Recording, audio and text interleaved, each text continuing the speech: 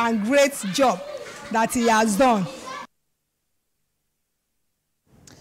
Governor of Adamawa State, Ahmadu Fintiri, has been commended by the United Nations Children Fund for the prompt payment of 100 million naira counterpart fund to address acute malnutrition.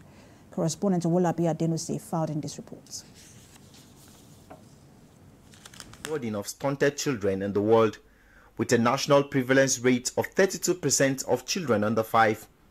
An estimated 2 million children in Nigeria suffer from severe acute malnutrition but only two out of 10 children affected are reached with treatment.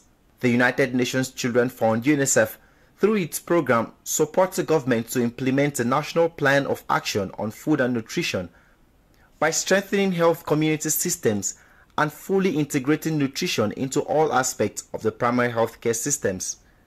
Speaking in Yola at the launch of the Adamawa State Food Nutrition Policy and State Multisectoral Strategic Plan of Action for Nutrition 2023 to 2027, UNICEF Chief of Bauchi Field Office Dr. Tushar Rane said children in the state still suffer from chronic food poverty.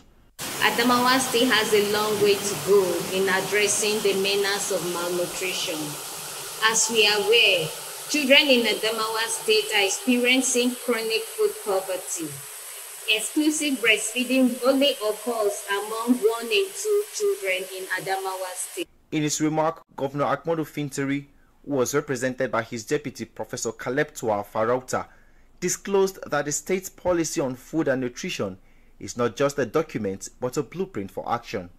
Recognizing its vital importance, my administration has committed itself to addressing nutrition related issues head on with a comprehensive strategy that spans multi-sectors and levels of governance. The State Commissioner for Health and some residents of the state commended Governor Fintiri for his prompt payment of the state counterpart fund, which they believe will address the challenge of acute malnutrition.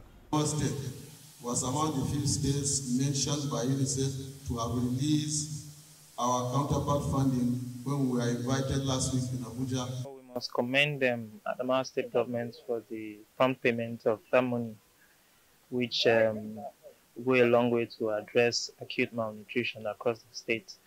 According to UNICEF, children in Adamawa State are experiencing chronic food poverty, while exclusive breastfeeding occurs only among 53.3% of newborns. Moreover, only 11.8% of children and only 32.8% receive minimum dietary diversity.